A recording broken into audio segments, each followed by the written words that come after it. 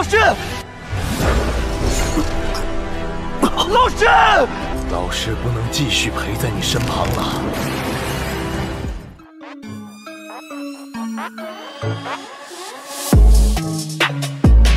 Halo para pecinta Battle Through the Heavens dimanapun kalian berada Gimana nih kabar para tetua yang udah lelah seharian beraktivitas Udah siap kancut dengan perjalanan dari Mangoyan Kuy lah gak usah pakai lama-lama lagi Kita kancutkan dan selamat berimajinasi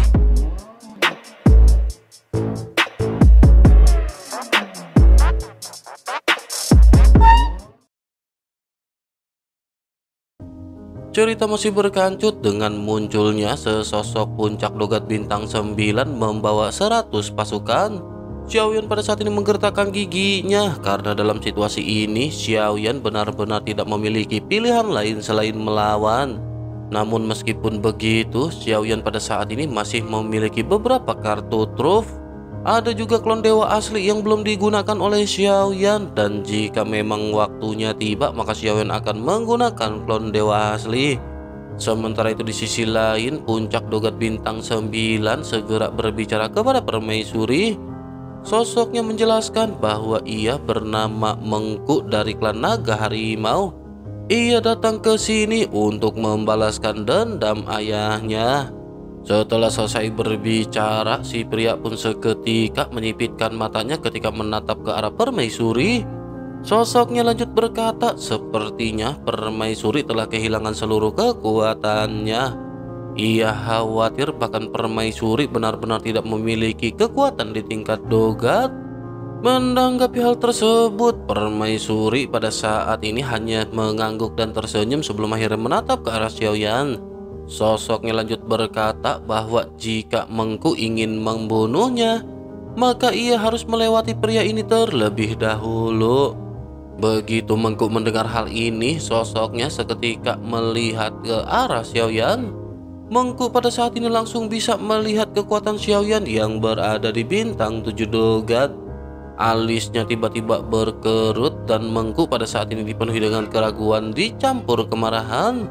Mengku segera bertanya apakah permaisuri pada saat ini bersyanda. Permaisuri pada saat ini memandang ke arah Xiaoyan dengan penuh percaya diri dan berkata bahwa ia serius. Mengku pada saat ini berkata dengan dingin, tetapi bocah ini baru saja mencapai tahap menengah dogat bintang 7. Jika mereka memang memaksa, maka Mengku akan bisa menghabisinya dengan hanya satu telapak tangan.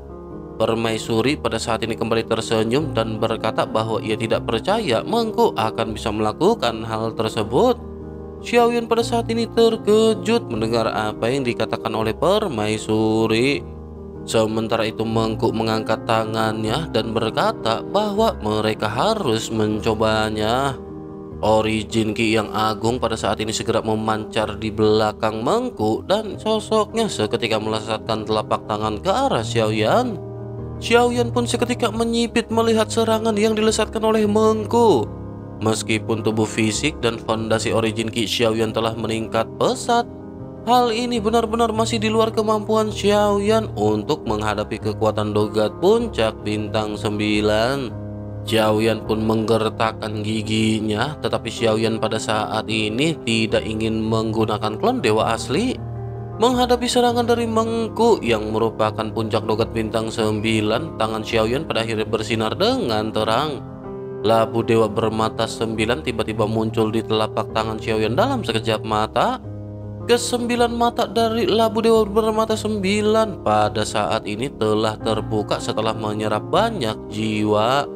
Xiaoyan tanpa banyak basa-basi segera meminta tolong kepada rubah iblis berekor sembilan untuk menghabisi musuhnya. Gumpalan asap merah muda pada akhirnya muncul dari labu dewa bermata sembilan. Sosok cantik dengan tubuh sempurna perlahan muncul dan sosok ini seketika tersenyum ke arah Xiaoyan. Sosok itu pun segera berkata kepada Xiaoyan, sebaiknya dalam perang kecil seperti ini Xiaoyan tidak memanggilnya. Xiaoyan bisa sepenuhnya mempercayai pemimpin pendekar pedang gila untuk berhadapan dengan kasus seperti ini. Setelah selesai berbicara, sosoknya pada saat ini lanjut mengikuti apa yang pada saat sebelumnya diminta oleh Xiaoyan. Telapak tangan dari rubah iblis berekor sembilan seketika terangkat dan sebuah jantung persik besar muncul. Sesaat kemudian jantung persik besar ini segera melesat berhantaman dengan telapak tangan raksasa. Ledakan pada akhirnya segera terjadi dengan kedua serangan yang pada saat ini sama-sama dihancurkan. Adegan ini seketika mengejutkan semua orang termasuk dengan Mengku. Sesaat setelah ledakan, kabut pada saat ini menyebar ke segala arah menyelimuti semua orang. Lebih dari 100 orang termasuk dengan Mengku pada saat ini diselimuti oleh kabut. Saat berikutnya adegan yang mengejutkan seketika muncul dan ini benar-benar cukup tragis. Lebih dari 100 sosok ini segera mengangkat senjata mereka dan menusukkannya ke jantung masing-masing. Di antara mereka, Mengku yang matanya terlihat merontak juga menusuk jantungnya dengan telapak tangan.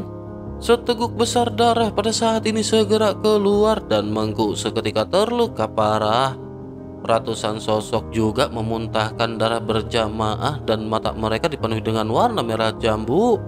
Pikiran mereka semuanya sepertinya benar-benar telah dikendalikan oleh rubah berekor sembilan. Sementara itu Mengku yang berada di puncak dogat bintang sembilan pada saat ini menggigit ujung lidahnya dan bahkan membakar umur panjangnya. Mengku mencoba untuk menghilangkan warna merah muda di bola matanya. Begitu Mengku tersadar sosoknya pada saat ini memiliki ekspresi kepanikan di wajahnya, Reaksi pertama Mengku pada saat ini segera melesat mundur dan mencoba untuk melarikan diri. Rubah iblis berekor sembilan juga pada saat ini mengetahui hal tersebut dan tentu saja ia tidak akan memberikan kesempatan bagi Mengku untuk pergi. Sosoknya yang anggun dan menawan segera membuat gerakan seolah-olah membuat busur panah. Setelah busur panah terbentuk, anak panah juga pada saat ini muncul sebelum akhirnya dilesatkan ke arah Mengku. Anak panah yang dilesatkan ini memiliki kecepatan yang sangat cepat. Mengku berusaha untuk menghindar, tetapi anak panah ini benar-benar langsung tenggelam ke dalam tubuh Mengku. Dalam sekejap mata, Mengku menjerit nyaring dan seluruh tubuh Mengku seketika mengembang dengan cepat. Cahaya merah jambu juga pada saat ini melonjak semakin melimpah bersamaan dengan tubuh Mengku yang semakin membesar. Pada akhirnya tubuh Mengku seketika meledak dengan keras.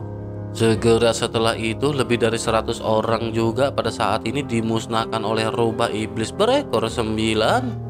Setelah menunaikan tugasnya, rubah iblis berekor sembilan pada saat ini segera mendatangi Xiaoyan. Senyum menawan dan mata genitnya pada saat ini seketika diarahkan menuju ke arah Xiaoyan. Sosoknya lanjut berkata bahwa orang-orang itu telah terbunuh. Jika begitu permasalahannya, maka Mein yang pada saat ini akan segera pergi. Lain kali adik kecil harus mengingat untuk jangan terlalu sering memanggil Mei yang. Jika tidak, maka ia tidak akan lagi pergi membantu adik kecil. Begitu selesai berbicara, sosoknya berubah menjadi kabut berwarna merah muda dan kembali ke labu dewa bermata sembilan. Xiaoyan pada saat ini hanya bisa terdiam dan Xiaoyan bergidik tanpa sadar melihat pembantaian yang baru saja dilakukan oleh rubah iblis berekor sembilan. Permaisuri juga pada saat ini tidak bisa tidak mengagumi serangan tersebut. Sosoknya bergumam bahwa sosok ini benar-benar memiliki pesona yang sangat kuat. Xiaoyan hanya tersenyum sebelum akhirnya segera menghirup jiwa-jiwa yang belum menyebar ke dalam labu dewa bermata sembilan. Mengku yang pada saat sebelumnya sombong pada saat ini benar-benar telah mokat secara misterius. Mengku mungkin tidak pernah berpikir bahwa ia akan mokat dengan cara seperti ini. Sementara itu permaisuri pada saat ini memandang ke arah Xiaoyan dan bergumam bahwa ia benar-benar memiliki banyak trik sederhana. Sementara itu Xiaoyan pada saat ini masih melesat mengumpulkan cincin penyimpanan yang mengambang. Sungguh sangat disayangkan sebagian besar cincin penyimpanan telah diledakkan dan hanya ada belasan yang masih utuh. Setelah menyelesaikan semuanya, Xiaoyan pada akhirnya menghampiri permaisuri dan tersenyum masam. Xiaoyan lanjut berkata, bukankah sparring partner ini benar-benar agak terlalu kuat? Permaisuri pada saat ini masih tersenyum dan berkata bahwa Xiaoyan bisa mengendalikan semua ini. Namun meskipun begitu, sesungguhnya permaisuri juga tidak menyangka bahwa mereka akan dengan ramah mengunjunginya tepat setelah ia terbangun. Xiaoyan pada saat ini mengerutkan kening dan berkata apakah dengan cara seperti ini mereka benar-benar mengunjungi permaisuri? Jelas ini merupakan upaya putus asa untuk membunuh permaisuri. Permaisuri pada saat ini hanya tersenyum sementara Xiaoyan terdiam dan tidak menyadari apa yang dimaksud oleh permaisuri. Sesaat kemudian permaisuri pada saat ini segera lanjut berkata bahwa Xiaoyan benar-benar memiliki banyak cara. Dengan begitu maka permaisuri pada saat ini tidak perlu lagi khawatir kepada Xiaoyan. Namun jika mereka tetap di bintang Ziao akan ada semakin banyak teman yang datang berkunjung. Bagaimana jika pada saat ini mereka berjalan-jalan ke tempat lain? Ia tahu banyak planet yang sangat indah dan biarkan ia mengajak Xiaoyan melihatnya. Xiaoyan pada saat ini sedikit tersenyum mendengar apa yang dikatakan oleh permaisuri sebelum akhirnya mengangguk perlahan. Xiaoyan pun lanjut berkata bahwa Xiaoyan akan mematuhi semua pengaturan permaisuri. Mendengar hal tersebut, permaisuri segera berkata bahwa gelar permaisuri ini terlalu berlebihan. Seperti sebelumnya saja, panggil ia dengan sebutan Yuan Er. Xiaoyan pada saat ini terdiam melihat senyum di wajah dari permaisuri yang terlihat memsepona Xiaoyan pada akhir berkata dengan sedikit malu, apakah begitu yang mulia memanggil permaisuri? Namun jika begitu permasalahannya, apakah tidak pantas bagi Xiaoyan memanggilnya dengan sebutan Yuan Er? Menanggapi hal tersebut, permaisuri memandang ke arah Xiaoyan dengan serius dan bertanya apakah Xiaoyan dan Guzong Seng berbeda. Permaisuri pada saat ini memandang ke arah Xiaoyan dengan tatapan yang tidak bisa terlepas. Sepertinya di matanya tidak ada perbedaan antara Yang Mulia dan Xiaoyan pada saat ini. Yang dilihat oleh permaisuri ini bukanlah penampilan Xiaoyan melainkan hati dan jiwa Xiaoyan. Sementara itu, Xiaoyan yang ditatap oleh permaisuri pada saat ini hanya bisa terdiam dan sedikit merenung. Xiaoyan sesungguhnya masih memiliki penolakan terhadap gelar ini karena terlalu intim. Namun Xiaoyan tidak bisa menolak permintaan dari permaisuri. Xiaoyan pada saat ini lanjut berkata, jika begitu permasalahannya, maka Xiaoyan akan pergi bersama dengan Yuan Er. Xiaoyan pada saat sebelumnya merenungkan perbincangan di antara permaisuri dan kelinci Bingyun. Xiaoyan menyadari kondisi dari permaisuri pada saat ini. Waktu permaisuri akan habis dan ia bangkit hanya untuk Xiaoyan.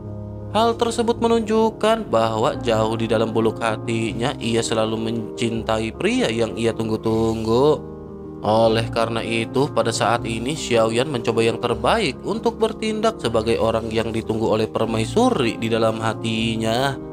Pada akhirnya mereka pada saat ini segera pergi menaiki kelinci Bingyun yang berubah menjadi besar. Di dalam perjalanan, permaisuri pada saat ini berkata bahwa mereka akan pergi ke pemberhentian pertama terlebih dahulu. Mereka kebetulan akan mengunjungi seorang teman lama yang mungkin akan bisa membantu Xiao Yan juga. Tempat ini bernama Xiao Yuxing dan langit di sana akan menurunkan hujan berwarna-warni dan di situlah mereka pertama kali bertemu. Sudut mulut dari permaisuri pada saat ini terangkat menjadi sebuah senyuman. Sepertinya ia pada saat ini mengingat kembali kenangan indah saat pertama kali ia bertemu dengan Yang Mulia. Namun bersamaan dengan hal tersebut pada saat ini Xiaoyan merasakan adanya sesuatu Xiaoyan bergumam sepertinya seseorang mengejar mereka di belakang. Jika dilihat dari auranya, mereka semua sepertinya berada di tingkat dogat. Terus dikejar seperti ini bukanlah sebuah pilihan yang baik dan sepertinya mereka harus memelankan kecepatannya sedikit. Mereka harus menunggu dan Xiaoyan akan menghabisi mereka semua. Mendengar hal tersebut, permaisuri pun menepuk kelinci Bingyun untuk memperlambat kecepatannya. Pada akhirnya, sesaat kemudian sosok Xiaoyan seketika langsung tergantung di kehampaan menatap beberapa sosok yang mendekat. Begitu semua orang sampai, Xiaoyan pada saat ini segera menyipitkan matanya. Xiaoyan pada saat ini segera berkata bahwa ia ingin memberikan kesempatan mereka untuk memilih. Mereka bebas memilih apakah mereka pada saat ini akan pergi atau tinggal. Menanggapi hal tersebut, salah seorang di antara mereka segera berkata, hanya tahap menengah dogat bintang tujuh saja benar-benar berkata dengan arogan. Mendengar apa yang dikatakan oleh sosok tersebut, Xiaoyan pada saat ini benar-benar tidak ingin lagi banyak berbahasa basi. Xiaoyan segera mengambil langkah maju dan mengeluarkan pedang berat misterius di belakangnya. Begitu sepuluh api iblis absolut ditambahkan ke dalam tubuh Xiaoyan. Origin Ki Xiaoyan pada saat ini melebihi 100 juta dalam sekejap. Dalam kehampaan yang gelap, sosok Xiaoyan pada saat ini benar-benar tampak seperti terik matahari yang menyala-nyala. Xiao yang tidak banyak basa-basi dan origin Ki yang agung pada saat ini berubah menjadi api yang mengerikan. Api dan guntur seketika mengalir ke berang berat misterius dan pada saat yang sama, Xiaoyan pada saat ini segera mengeluarkan teknik pedang berat pelahap api dan guntur. Lautan api dan guntur yang mengerikan pada akhirnya segera meraung menuju ke arah sosok-sosok tersebut. Pada saat yang sama, Xiaoyan juga terbang dengan lautan api yang membumbung ke langit. Lingkaran cahaya beredar dengan cepat di mata Xiaoyan dan dalam kehampaan yang gelap ini, cahaya bayan benar-benar bersinar membuat area di sekitar seketika terang. Cahaya yang menyilaukan ini membuat beberapa orang tampak membeku dan mereka hanya melihat api yang membumbung bercampur dengan guntur. Kekuatan kekerasan pada akhirnya meledak menghantam ke arah mereka. Beberapa sosok terlempar mundur sementara Xiaoyan pada saat ini kembali melesat. Xiaoyan pada saat ini berniat untuk menghabisi mereka semua. Namun tiba-tiba perasaan krisis muncul menyelimuti hati Xiaoyan.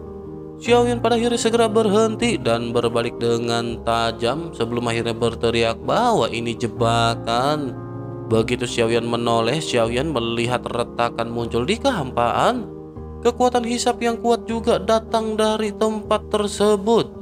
Kekuatan hisap ini hendak menarik sosok permaisuri yang berada di atas kelinci Bingyun. Kelinci Bingyun juga pada saat ini mulai melambat dan bahkan bergerak mundur.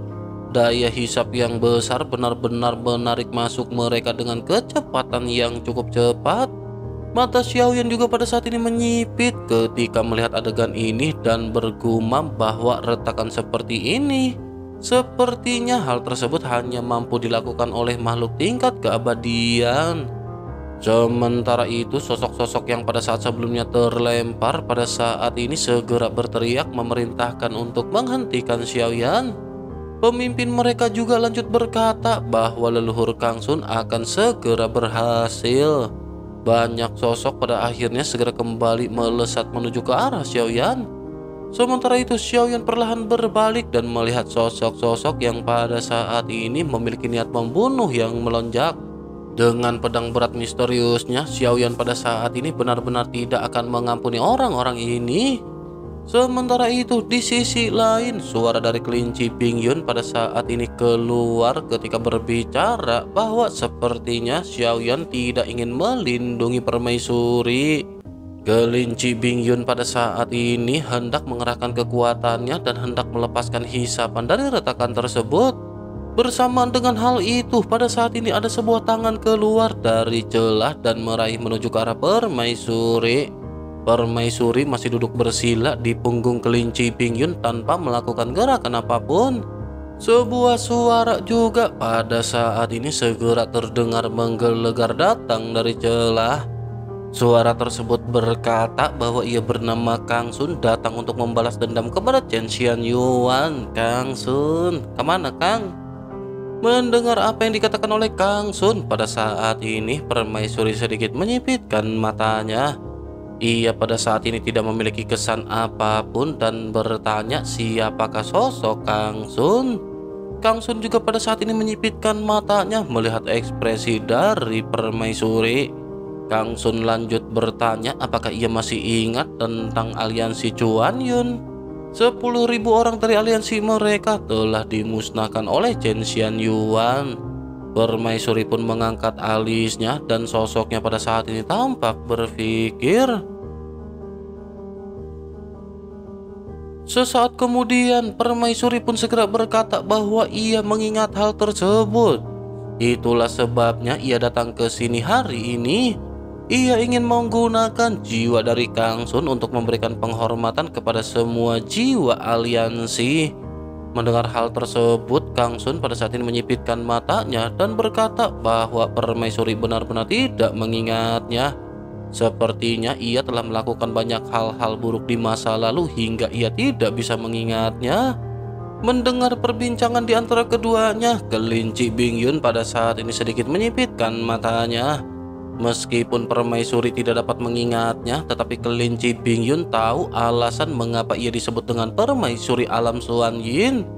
Bukan hanya karena Chen Xian Yuan ini kuat, tetapi karena ia melakukan yang terbaik untuk mengendalikan dan menyeimbangkan dunia tanpa pemilik ini. Meskipun metode yang digunakan adalah menggunakan kejahatan untuk menyembuhkan kejahatan, tetapi hanya dengan cara ini akan ada batas antara kekuatan dan kekuasaan. Jika tidak dikendalikan dan membunuh secara membabi buta, dikhawatirkan dunia Suan Yin ini akan benar-benar hilang sejak lama. Sementara itu di sisi lain, sosok pria yang bernama Kang Sun pada saat ini benar-benar tidak ingin lagi banyak berbicara omong kosong Sosoknya segera melesatkan telapak tangan dan berubah menjadi cakar yang tajam bergegas menuju ke arah permaisuri dan kelinci Bingyun. Begitu cakar tajam ini mendekat, mata dari kelinci Bingyun seketika memerah. Tidak peduli apa pun yang terjadi, ia akan menggunakan nyawanya sendiri untuk melindungi permaisuri. Ia tidak lagi mengharapkan Xiaoyan yang pada saat ini tampak tidak ingin menyelamatkan permaisuri. Kelinci Bingyun pun menyipitkan matanya ketika menatap ke arah serangan yang benar-benar telah mendekat. Begitu ia hendak mengambil tindakan, tiba-tiba angin kencang menderu dan bayangan hitam seketika melesat. Bayangan hitam ini seketika bertabrakan langsung dengan lesatan telapak tangan dari Kang Sun. Suara keras seketika menyebar setelah ledakan terjadi. Adegan ini membuat kelinci Bingyun sedikit terguncang dan menoleh untuk melihat ke sisi yang jauh. Sosoknya pada saat ini terkejut melihat sesosok yang bukan Xiaoyan yang berdiri berhadapan dengan telapak tangan sebelumnya. Terlebih lagi, kelinci Bingyun bisa merasakan adanya aura kekuatan keabadian dari sosok tersebut. Sosoknya tanpa sadar bergumam bahwa ia tidak menyangka akan ada makhluk tingkat keabadian yang datang untuk membantu. Namun ia tidak memiliki ingatan tentang siapakah orang ini. Bisakah permaisuri pada saat ini mengenali sosok yang datang membantu mereka? Permaisuri juga pada saat ini menggelengkan kelapanya dan berkata bahwa ia juga tidak kenal. Permaisuri pada akhirnya segera bertanya siapakah sosok tersebut. Di sisi lain, Kang Sun juga pada saat ini merasa sedikit tercengang sebelum akhirnya bertanya siapakah sosok tersebut. Kedua belah pihak pada saat ini tampaknya benar-benar sangat pemasaran dengan sosok yang baru saja muncul. Sementara itu, sosok yang pada saat ini berdiri tegak pada akhirnya segera mengeluarkan suaranya untuk berbicara. Sosoknya berkata bahwa ia berada di sini hanya untuk melindungi permaisuri. Kang Sun yang berada di dalam celah pada saat ini mendengus dingin mendengar apa yang dikatakan oleh sosok tersebut. Kang Sun pun lanjut berkata bahwa orang ini benar-benar sangat sombong. Ia hanyalah tubuh keabadian dan ia benar-benar mencari kematian. Menanggapi hal tersebut, sosok yang baru saja datang pada saat ini tidak berbicara sama sekali. Sosok ini jelas merupakan klon dewa asli yang pada saat sebelumnya dikeluarkan oleh Xiaoyan. Sementara itu di sisi lain, dari celah sesosok tubuh perlahan keluar dengan aura yang kuat. Ada yang aneh dari penampilan sosok tersebut dengan ada tanduk di atas kelapanya. Jelas ia bukanlah ras manusia. Sosoknya pada saat ini menatap tajam ke arah klon dewa asli dan ketika ia hendak berbicara, Klon dewa asli pada saat ini segera melesat dengan keras bergegas ke arah sosok tersebut. Xiaoyan pada saat ini mengendalikan klon dewa asli dan secara langsung berhadapan dengan sosok bernama Kang Sun. Mata Kang Sun tiba-tiba memadat dan sosoknya pada saat ini segera melonjakkan aura yang kuat. Tubuhnya dipenuhi dengan aura iblis dan sisik tumbuh seketika di tubuhnya merasakan energi dan darah yang kuat dari klon dewa asli. Sosoknya pada saat ini berhati-hati. Lengannya pada saat ini melebar dengan cepat dan seluruh tubuhnya berubah menjadi tubuh binatang. Ia juga pada saat ini meledakkan kekuatan fisik yang kuat. Namun jika dibandingkan dengan energi dan darah klon dewa asli, masih ada celah besar di antara keduanya. Kang Sun pada akhirnya segera mengeluarkan sepasang armor tinju berwarna gelap. Sosoknya pada saat ini menutup tinju di pinggangnya dan segera berhantaman dengan klon dewa asli. Ledakan seketika terjadi dengan kedua tinju yang pada saat ini saling bertemu. Kedua belah pihak bertabrakan secara tiba-tiba dan hantaman kuat tiba-tiba melonjak.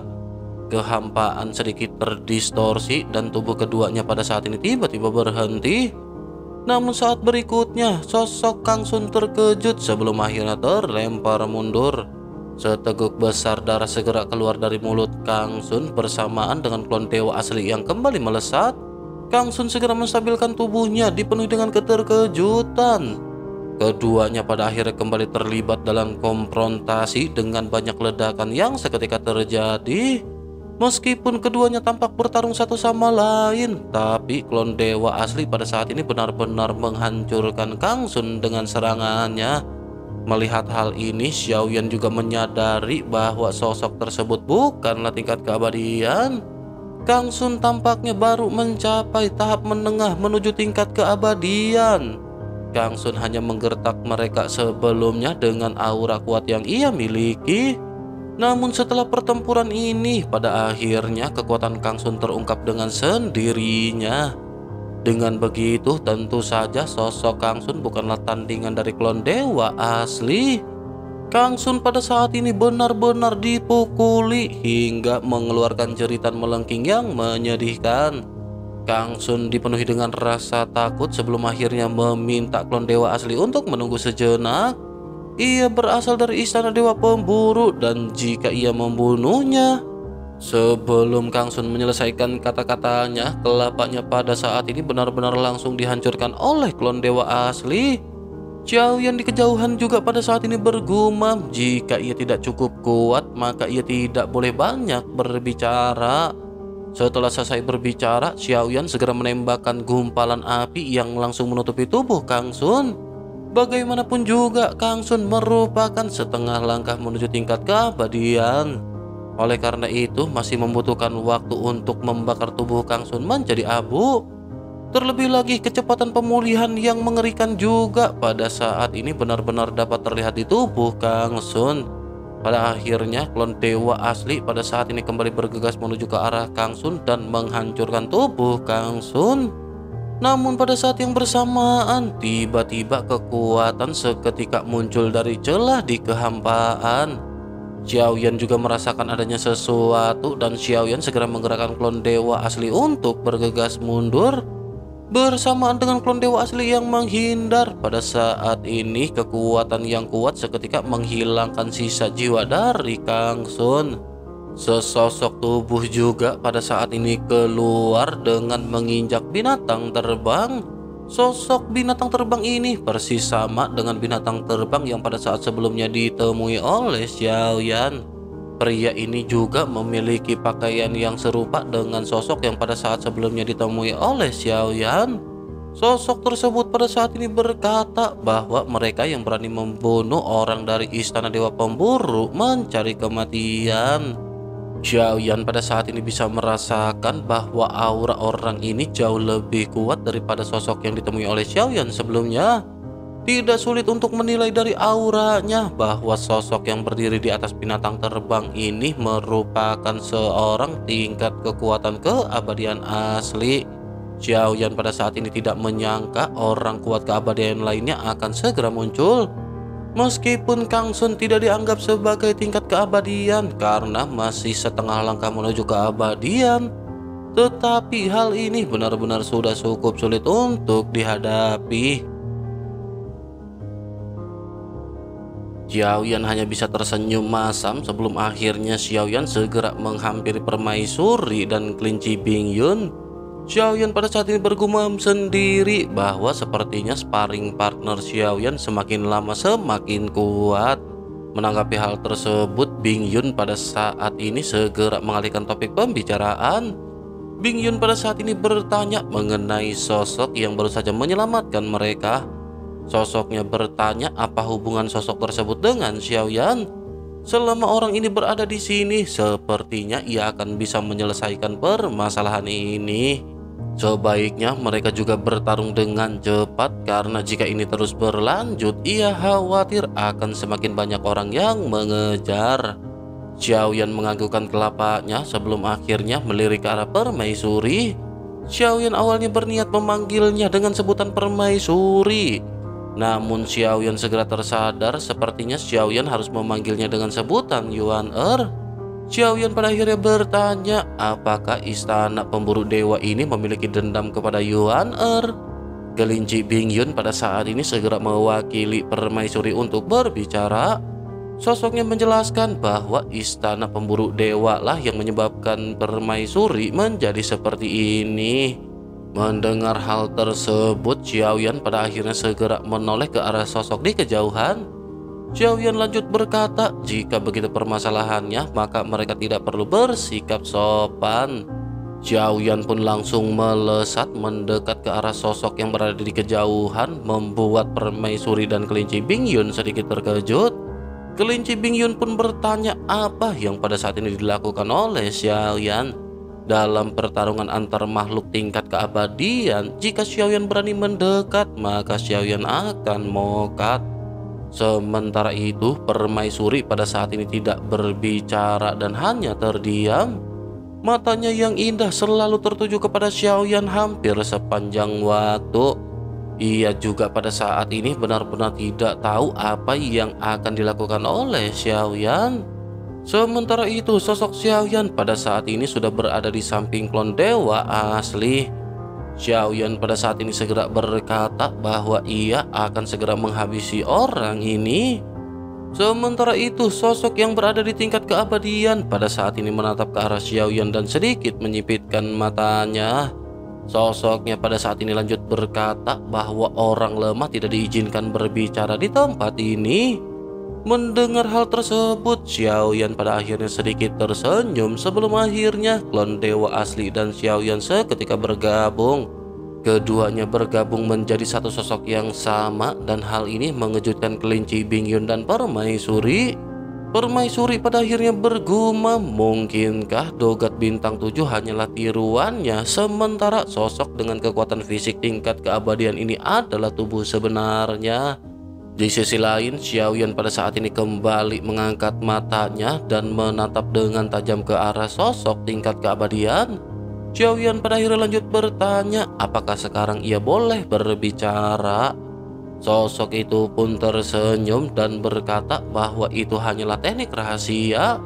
Di matanya kekuatan seperti itu benar-benar tidak akan dapat bersaing. Mendengar hal tersebut, Xiaoyan pada saat ini perlahan mengangkat telapak tangannya dan tiga api berbeda seketika berdenyut-denyut.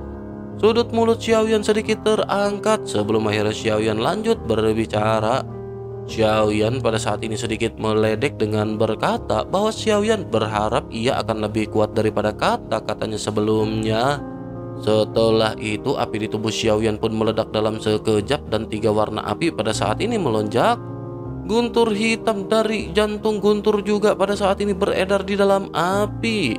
Momentum Xiaoyan yang kuat pada saat ini seketika benar-benar menyebar ke segala arah. Sosok yang berada di atas binatang terbang juga pada saat ini sedikit mengerutkan keningnya. Ia bisa merasakan adanya bau berbahaya setelah Xiaoyan melonjakkan kekuatannya. Sosoknya pada akhirnya segera berbicara dengan sedikit sopan ketika memperkenalkan diri.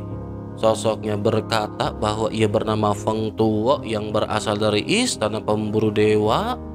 Xiaoyan pada saat ini sedikit merasa aneh melihat sosok tersebut yang memperkenalkan diri. Namun Xiaoyan cukup menghargai hal tersebut dan Xiaoyan segera memperkenalkan dirinya. Xiaoyan berkata bahwa ia bernama Xiaoyan. Xiaoyan pada saat ini tentu saja tidak perlu memberitahu Feng Tuo bahwa Xiaoyan berasal dari dunia Senshi.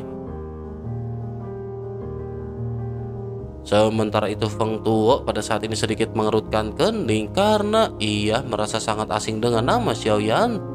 Ia belum pernah mendengar adanya nama sesosok di tingkat keabadian yang memiliki nama Xiaoyan. Oleh karena itu, Feng Tuo pada saat ini tidak terlalu takut kepada sosok Xiao Yan. Tetapi meskipun begitu, Feng Tuo pada saat ini sama sekali tidak ingin mengambil resiko di dalam pertempuran. Feng Tuo pada akhirnya tiba-tiba memandang ke arah permaisuri dan berbicara perlahan. Sosoknya berkata bahwa hari ini mereka akan membiarkan permasalahan ini berlalu dan membiarkan permaisuri pergi. Mendengar apa yang dikatakan oleh Feng Tuo, Permaisuri pun segera menjawab bahwa sepertinya Feng Tuo benar-benar bersyanda karena setengah tingkat keabadian berani datang untuk menghabisi Permaisuri. Ditambah lagi dengan keberadaan dari Feng Tuo, mungkinkah ia pada saat ini ingin melarikan diri? Xiao Yan juga pada saat ini memandang ke arah Feng Tuo dan meledek apakah ia pada saat ini takut? Feng Tuo yang awalnya tidak marah benar-benar tidak menyangka bahwa Xiaoyan benar-benar memprovokasinya. Ditambah dengan kata-kata permaisuri, kemarahan Feng Tuo pada saat ini tiba-tiba melonjak. Feng Tuo pada akhirnya segera berkata bahwa ia awalnya ingin membiarkan mereka mendapatkan waktu lebih lama. Namun sekarang sepertinya menurutnya hal tersebut tidak lagi diperlukan. Jika mereka memang menginginkan kematian, maka ia pada saat ini akan mengabulkannya. Xiaoyan pada saat ini tersenyum tipis dan berkata sebaiknya mereka membuang banyak omong kosong. Begitu selesai berbicara, sosok Xiaoyan pun mengambil langkah maju dengan cukup cepat. Seluruh tubuhnya terbungkus dengan api di dalam kehampaan yang gelap. Sosok Xiaoyan seperti meteor yang terbakar ketika langsung melesat menuju ke arah Feng Tuo. Feng Tuo juga pada saat ini tidak mau kalah dan sosoknya segera melonjakkan aura yang sangat kuat. Cahaya keemasan yang bersinar di tubuhnya pada saat ini melonjak. Fluktuasi aura yang tidak diketahui seberapa kuatnya juga pada saat ini seketika menyebar. Kedua belah pihak pada akhirnya sama-sama mengeluarkan kekuatan fisiknya ketika saling bertemu. Ledakan seketika terjadi ketika dua tinju saling bersentuhan. Dibandingkan dengan nyala api dan guntur dari Xiaoyan yang menyilaukan, serangan dari Feng Tuo ini tampak terlihat jauh lebih biasa. Namun meskipun begitu, kekuatan keduanya pada saat ini benar-benar sangat mencengangkan. Kedua sosok pada akhirnya segera terlempar pada saat yang bersamaan. Selanjutnya, keduanya memulai kembali pertukaran dengan gila-gilaan. Suara tinju yang bertabrakan bergema di kehampaan dan Xiaoyan secara kasar pada saat ini bisa memperkirakan kekuatan dari Feng Tuo. Xiaoyan bisa merasakan bahwa Feng Tuo setidaknya pada saat ini merupakan langkah pertama tingkat keabadian. Menyadari hal tersebut, Xiaoyan pada saat ini menyadari bahwa klon dewa asli benar-benar tidak cukup kuat untuk berhadapan dengan Feng Tuo. Dengan menggabungkan kekuatan Xiaoyan dan klon dewa asli, kekuatan mereka bahkan benar-benar tidak dapat mencapai langkah pertama tingkat keabadian. Namun meskipun begitu, kekuatan fisik dari klon dewa asli ini benar-benar tidak bisa untuk diremehkan. Memikirkan kesenjangan origin Ki di antara keduanya, Xiaoyan pada akhirnya memutuskan untuk memanfaatkan kekuatan fisik dari klon dewa asli. Namun di dalam pertempuran fisik ini tentu saja Xiaoyan harus terus mendekat dan menempel ke arah Feng Tuo. Xiaoyan harus terus-menerus terlibat dalam pertarungan jarak dekat. Dalam pertempuran ini, hampir seluruh origin Ki Xiaoyan digunakan untuk meningkatkan kecepatan Xiaoyan. Tidak peduli bagaimana Feng Tuo mencoba menjauhkan diri, sosok Xiaoyan selalu tidak memberinya kesempatan untuk menjauh. Feng Tuo juga sangat terkejut karena sosoknya terus-menerus terjerat dalam jarak yang cukup dekat oleh Xiaoyan. Feng Tuo pun segera berkata bahwa ia tidak menyangka Xiaoyan akan begitu cepat. Sesaat kemudian cahaya keemasan pada saat ini melintas di mata Feng Tuo dan segera dua sinar cahaya melonjak. Cahaya keemasan ini benar-benar seperti ujung pedang yang lancip dan langsung menembus ke arah kelapa Xiaoyan. Namun dengan kecepatan yang dimilikinya pada saat ini, Xiaoyan berhasil menghindari serangan tersebut. Xiaoyan juga pada saat ini mengeluarkan tinju yang dipenuhi dengan api dan guntur. Xiaoyan terus-menerus menggempur Feng Tuo dengan kekuatan fisik klon dewa asli. Sementara itu Feng Tuo pada saat ini hanya bisa menggunakan perisai yang dibentuk dari cahaya keemasan. Dihadapkan dengan tinju kuat dari Xiaoyan, perisai ini benar-benar tidak bisa bertahan. Ada banyak ledakan yang terjadi sebelum akhirnya tinju Xiaoyan menghantam Feng Tuo secara langsung. Feng Tuo pada akhirnya merasakan adanya kekuatan tirani yang tersebar dari tubuh keabadian milik Xiaoyan. Ekspresinya seketika berubah drastis dan sosoknya berubah menjadi bayangan untuk menghindari serangan Xiaoyan. Pada saat yang bersamaan, pedang emas juga seketika muncul di lengan dari Feng Tuo. Sosoknya melemparkan pedang tersebut dan dalam sekejap mata, Pedang emas ini memancarkan energi yang kuat sebelum akhirnya terkondensasi menjadi 10.000 pedang emas. Hujan pedang emas pada saat ini muncul di kehampaan dan langsung melesat menuju ke arah Xiaoyan.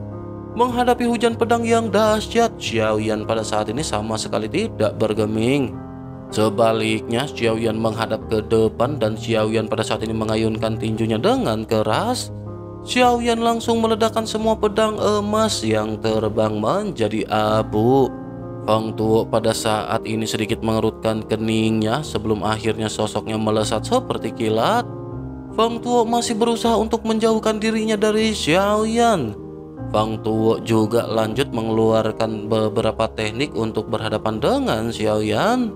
Feng Tuo berteriak ketika mengeluarkan teknik 18 pedang dewa. Cahaya keemasan kembali melonjak membentuk 18 pedang yang jauh lebih kuat daripada serangan sebelumnya. Ke-18 pedang ini segera dilesatkan kepada Xiaoyan tanpa banyak penundaan.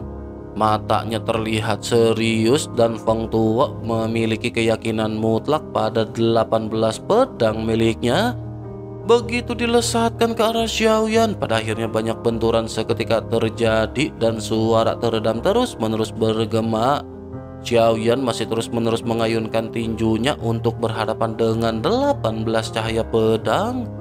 Namun pada akhirnya semua cahaya pedang ini benar-benar dihancurkan di bawah tinju Xiaoyan. Mata Feng Tua tiba-tiba menyusut dan sosoknya tanpa sadar bertanya bagaimana mungkin ini bisa terjadi. Feng Tuo pada akhirnya kembali mengeluarkan teknik yang lain.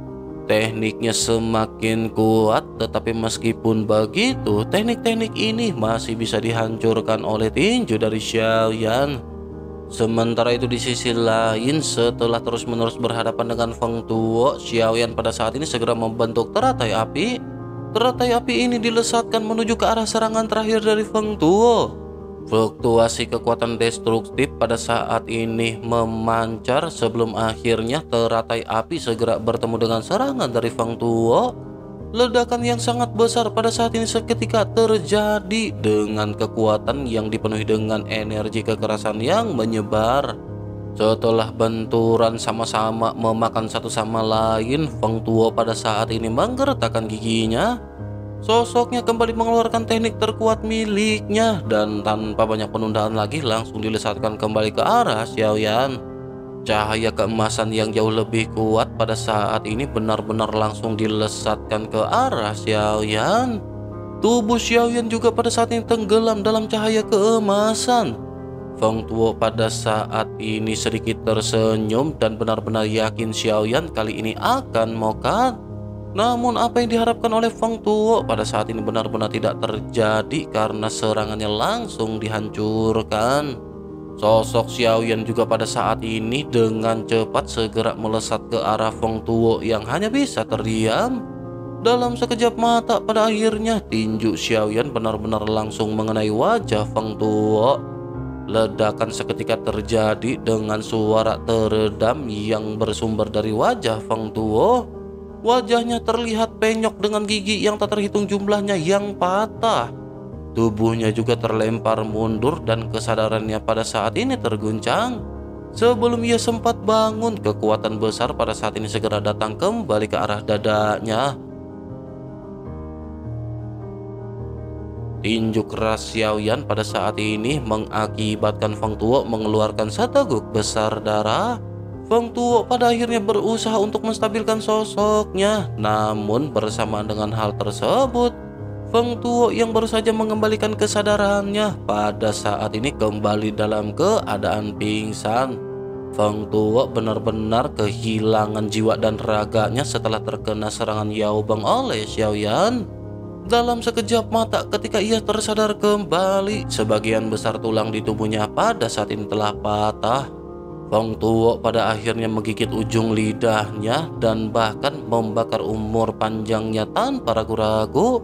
Feng Tuo pada saat ini meninju dengan kuat untuk menahan tinju yang dilesatkan oleh Xiaoyan terus menerus. Suara benturan lainnya pada akhirnya terdengar tetapi sesaat berikutnya suara retakan patah tulang pada saat ini terdengar dengan sosok Feng Tuo yang kembali melesat mundur. Kelima jarinya pada saat ini benar-benar patah setelah berhadapan dengan tinju keras dari Xiaoyan. Pukulannya ini sepertinya tidak mampu menghentikan serangan ganas dari Xiaoyan. Xiaoyan juga pada saat ini tampak benar-benar terlihat seperti seorang pembunuh. Xiaoyan menyadari bahwa teknik pembentukan kehidupan milik Xiaoyan ini memiliki waktu yang terbatas. Meskipun seiring dengan peningkatan kekuatan Xiaoyan, teknik tersebut akan dapat dipertahankan lebih lama Setidaknya Xiaoyan pada saat ini harus segera mengakhiri pertempuran dengan Feng Tuo. Xiaoyan pada akhirnya tanpa banyak basa-basi kembali mendaratkan tinjunya dengan keras. Dada Feng Tuo pada saat ini segera tenggelam. Tinju Xiaoyan benar-benar kuat hingga pada akhirnya seluruh tubuh Feng Tuo tampak dihancurkan. Xiaoyan mencampurkan kekuatan tujuh tinju penghancur dewa Gelombang mengerikan menyebar ke seluruh tinjunya dan Xiaoyan kembali menghantamkannya ke arah dada dari Feng Tuo. Kekuatan yang lebih dahsyat daripada sebelumnya pada saat ini benar-benar membuat dada Feng Tuo berlubang. Xiaoyan bahkan pada saat ini bisa melihat adanya jantung keemasan dan ini adalah jantung yang berisi kekuatan keabadian milik Feng Tuo. Selama jantung ini dihancurkan, meskipun Feng Tuo tidak mokat, ia akan terluka parah. Yang lebih menyakitkannya lagi adalah bahwa kekuatan tingkat keabadian Feng Tuo akan segera terjatuh ke tingkat dogat. Feng Tuo juga pada saat ini terlihat panik karena hal ini benar-benar merupakan hal yang penting bagi Feng Tuo. Sosoknya seketika berteriak dengan keras ketika ia menyerah. Sosoknya lanjut berkata, selama Xiaoyan tidak menghabisinya dan tidak menghancurkan jantungnya, ia bersedia untuk melakukan apa pun demi Xiaoyan. Xiaoyan pun tersenyum sinis dan lanjut bertanya, apakah Feng Tuo pada saat ini benar-benar mengakui kekalahan? Sepertinya ketika nyawanya terancam, bahkan makhluk tingkat keabadian juga akan mengucapkan kata-kata kekanak-kanakan seperti itu. Xiaoyan pada saat ini tanpa banyak basa-basi dan setelah selesai berbicara, Xiaoyan segera mengerahkan kekuatan yang kuat ke lima jarinya. Xiaoyan dengan keras meremas jantung emas milik Feng Tuo. Jantung emas ini pun seketika benar-benar dihancurkan di tangan Xiaoyan. Feng Tuo yang tiba-tiba kehilangan jantung emasnya pada saat ini seketika mengeluarkan jeritan yang sangat menyedihkan. Sementara itu Xiaoyan pada saat ini menarik telapak tangannya dan menatap ke arah Feng Tuo dengan lubang besar di dadanya. Kekuatan Feng Tuo juga pada saat ini dengan cepat segera anjlok ke tingkat dogat. Tidak ada lagi ancaman di hadapan Xiaoyan sekarang dan Xiaoyan pada saat ini tidak perlu membunuhnya dengan terburu-buru. Terlebih lagi Xiaoyan juga akan bisa mendapatkan beberapa berita tentang istana pemburu dewa. Sementara itu Feng Tuo pada saat ini menjerit melengking dipenuhi dengan kesedihan setelah kehilangan semuanya. Feng Tuo hanya bisa berlutut di tanah merasakan jantungnya yang pada saat ini diperbaiki. Namun meskipun jantung Feng Tuo pada saat ini kembali ke posisi semula, kekuatan Feng Tuo masih akan berada di tingkat dogat dan ia benar-benar tidak bisa melakukan apa pun. Sementara itu Xiaoyan pada saat ini membuka telapak tangannya dan ada setetes darah emas muncul di sana. Setetes darah emas ini berisi kekuatan keabadian milik Feng Tuo. Melihat ke arah darah emas di tangan Xiaoyan, mata Feng Tuo pada saat ini sedikit gemetar. Sosoknya mengerti bahwa ia pada saat ini tidak bisa melakukan apa pun kepada Xiaoyan. Sosoknya segera berlutut di hadapan Xiaoyan dan memohon kepada Xiaoyan. Sosoknya berkata bahwa Fang Tuo bersedia menjadi pelayan Tuan. Ia hanya ingin meminta Tuan untuk mengembalikan kekuatan keabadian miliknya. Feng Tuo benar-benar akan hancur dan Feng Tuo akan memberikan semua yang ia miliki jika Tuan melakukan apa yang diinginkan oleh Feng Tuo. Xiao Yan pada saat ini sedikit tersenyum melihat Feng Tuo yang benar-benar menjatuhkan martabatnya. Tetapi meskipun begitu, Xiaoyan pada saat ini tentu saja tidak akan mengampuni Feng Tuo. Xiaoyan pada akhirnya segera berkata bahwa jika Feng Tuo memang ingin menjadi pelayan, sepertinya hal tersebut tidaklah terlalu buruk.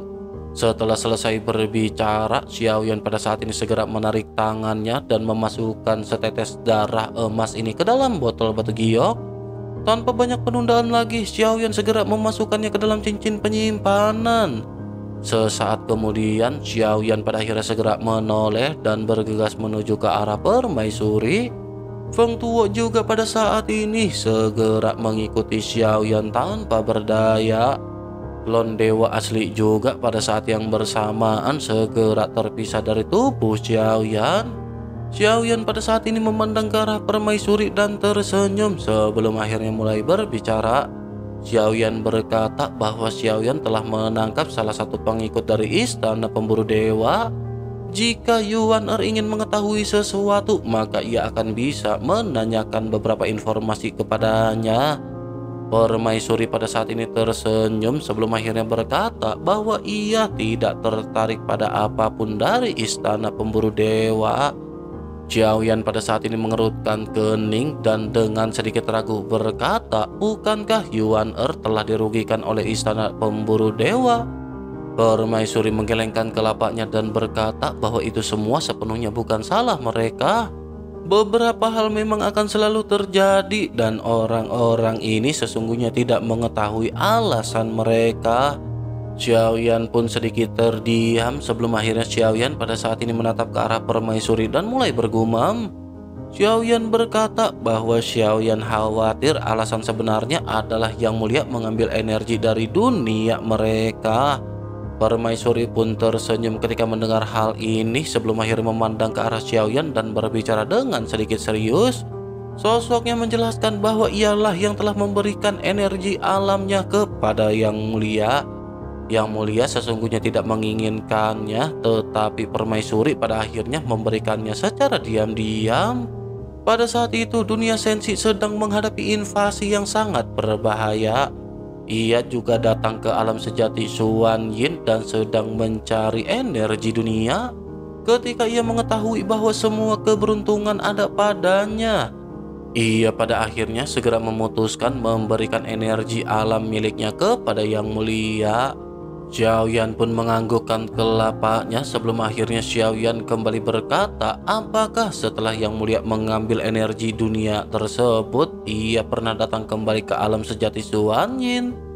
Permaisuri pada saat ini menggelengkan kelapanya dan ia berkata bahwa ia tidak tahu. Ia tertidur tidak lama setelah Yang Mulia pergi. Namun setelah ia terbangun ia menemukan bahwa energi dunia yang pada saat sebelumnya diberikan telah kembali kepadanya. Namun mungkin energi dunia ini kembali setelah kematian dari yang mulia. Selain itu karena ia telah mokat maka mulai sekarang ia akan kembali memberikan energi dunia kepada yang mulia. Xiaoyan sedikit mengerutkan kening mendengar apa yang dikatakan oleh permaisuri. Xiaoyan pada akhirnya tanpa sadar bertanya apakah ada cara lain.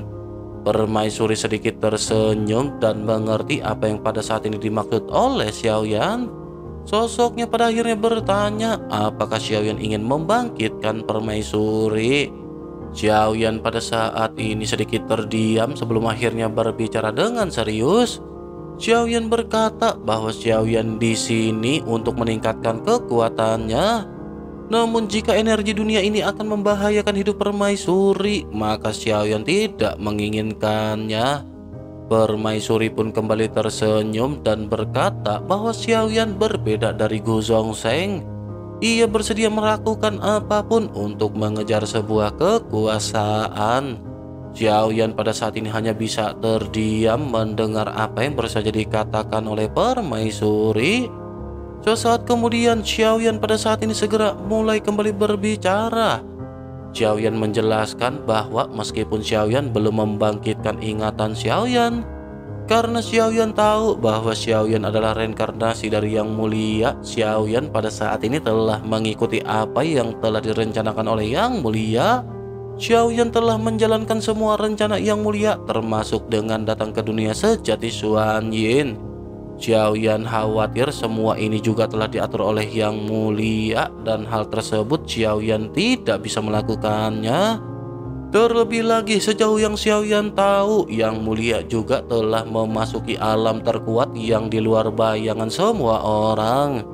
Oleh karena itu, sepertinya hal ini jugalah yang membuat Yang Mulia benar-benar mengejar kekuatan tertinggi. Hal itu tampaknya diperlukan bagi Yang Mulia untuk melindungi semuanya termasuk dengan Yuan Er. Mendengar apa yang dikatakan oleh Xiao Yan, permaisuri pada saat ini sedikit tersenyum dan berkata bahwa sepertinya setelah reinkarnasi, sosok Xiao Yan masih sangat pintar seperti sebelumnya. Xiaoyan pada saat ini menghela nafas dan menggelengkan kelapanya dan bergumam sepertinya Xiaoyan tidak bisa dibandingkan dengan Yang Mulia. Xiaoyan pada saat ini sedikit merenung dan berpikir sepertinya Yang Mulia hanya mengatur semuanya di dunia sensi. Xiaoyan tidak pernah menyangka bahwa Yang Mulia benar-benar mengatur semuanya hingga meninggalkan dunia sensi. Xiaoyan pada saat ini dapat dikatakan masih menjadi pion di dalam rencana yang mulia. Semuanya tampak benar-benar berjalan sesuai dengan rencana dan perhitungan dari yang mulia. Sementara itu di sisi lain, permaisuri pada saat ini sedikit tersenyum melihat Xiaoyan yang terdiam. Sesaat kemudian Yang Mulia Ratu pun berkata bahwa sesungguhnya masih banyak yang perlu mereka bahas. Namun mereka harus meninggalkan tempat ini sesegera mungkin dan mereka akan melanjutkan perbincangan di perjalanan. Xiaoyan pun sedikit tersadar sebelum akhirnya Xiaoyan menganggukkan kelapanya. Pada akhirnya mereka segera kembali menaiki kelinci Bingyun dan melesat pergi. Feng Tuo juga pada saat ini hanya bisa menghela nafas sebelum akhirnya mengikuti Xiaoyan pergi. Di dalam perjalanan, mereka pada saat ini berbincang-bincang santai sebelum akhirnya permaisuri segera berbicara dengan sedikit serius. Sosoknya berkata bahwa ia ingin memberitahu yang mungkin Xiaoyan sudah mengetahuinya. Sesungguhnya yang mulia ingin melindungi lebih dari sekedar dunia sensi dan musuh yang akan Xiaoyan hadapi lebih besar daripada apa yang Xiaoyan pikirkan. Mendengar hal tersebut, Xiaoyan juga pada saat ini menganggukkan kelapanya dan bertanya apakah yang dibicarakan oleh Yuan Er adalah dunia Taixu. Permaisuri pada saat ini sedikit mengerutkan kening dan bertanya apakah dunia Taixu juga akan menyerang dunia sensi. Xiaoyan pada saat ini mengangguk serius mendengar pertanyaan dari permaisuri. Sesaat kemudian Xiaoyan berkata bahwa sejauh yang ia tahu dunia Taixu akan menyerang Sensi dalam ribuan tahun. Permaisuri pun menganggukkan kelapanya dan bertanya apakah Xiaoyan tahu ada berapa banyak dunia di sini. Xiaoyan pada saat ini sedikit terdiam karena Xiaoyan benar-benar tidak mengetahui maksud dari pertanyaan ini. Sementara itu, permaisuri segera menjelaskan bahwa jumlah dunia ini tidak ada habisnya. Ketika ada kematian atau kehancuran, maka di saat itu pula akan ada kelahiran kembali. Tetapi seseorang dapat mengontrol siapa pun yang hidup atau siapa pun yang mokat di kehidupan ini. Di alam semesta Yuan ini ada sembilan dunia yang mencerminkan satu sama lain.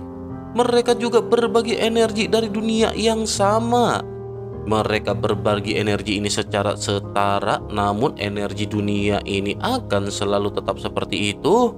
Dengan begitu, maka akan terjadi kemiringan hingga pada akhirnya delapan dari sembilan dunia akan binasa dan hanya menyisakan satu di antara mereka. Itulah cikal bakal penyebab mengapa terjadinya invasi karena mereka butuh bertahan hidup setiap dunia memiliki pilihannya masing-masing, tetapi karena mereka saling menjaga dan menyeimbangkan, invasi merupakan masalah pembunuhan yang sangat serius di dunia. Jika mereka memikirkan hal ini, pasti ada sesuatu yang terjadi yang membuat Taisu harus memilih menyerang dunia sensi. Mereka tampaknya benar-benar terpaksa melakukan hal tersebut untuk memperpanjang umur dunia mereka. Jiaoyan pada saat ini sedikit mengerutkan kening mendengar apa yang dikatakan oleh permaisuri. Ini merupakan info yang baru bagi Xiaoyan dan Xiaoyan pada saat ini memiliki ekspresi serius ketika mendengarkan penjelasan dari permaisuri.